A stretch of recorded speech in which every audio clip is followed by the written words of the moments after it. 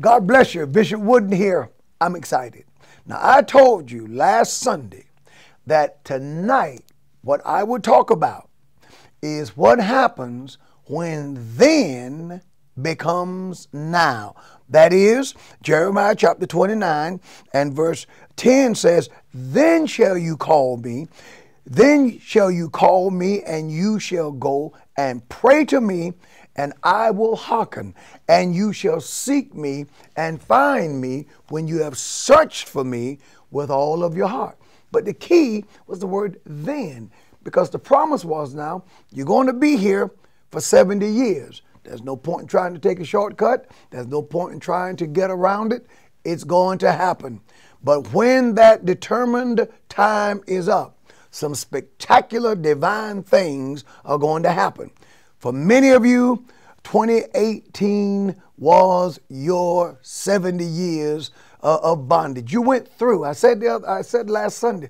Not everybody just leaped and danced and skipped through 2018. For many, 2018 was indeed a year where not only did they have to have to press into the kingdom because you saw the value of the kingdom, but you also had to press your way through this life, and it was a hard struggle for many. But the God of the Bible has reassured me in this year where the Lord commands us to seek the Lord, taken from Jeremiah chapter 29, verse 13, Isaiah chapter 55 and verse 6. Seek ye the Lord while he may be found, call ye upon him while he is near. The Lord is saying, I'm near, I can be found. You have done your time, and now is the time. Now the season has changed. There's a shifting in the divine. There's a shifting in the move of God. There's a change of seasons, if you will. Now seek me.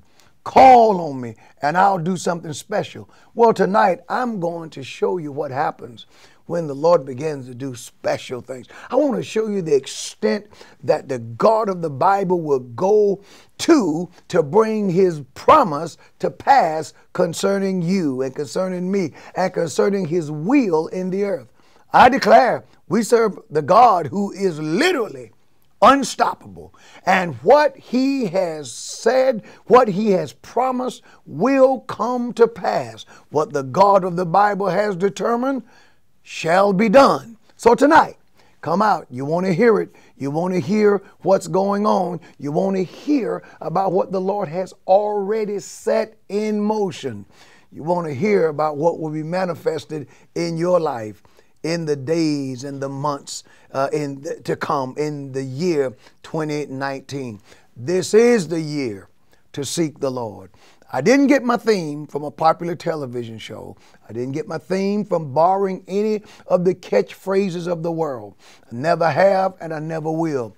I'll say to you, preachers who do, do those kinds of things, hey man, how about going back before the Lord, getting on your knees, seeking the Lord, and letting the God of the Bible speak to you? Hollywood is not, is not going to give us our themes. Our themes come from the God of the Bible. And tonight, we're going to come, we're going to seek the Lord and He's going to speak to you because now's a wonderful time to pray. God bless you.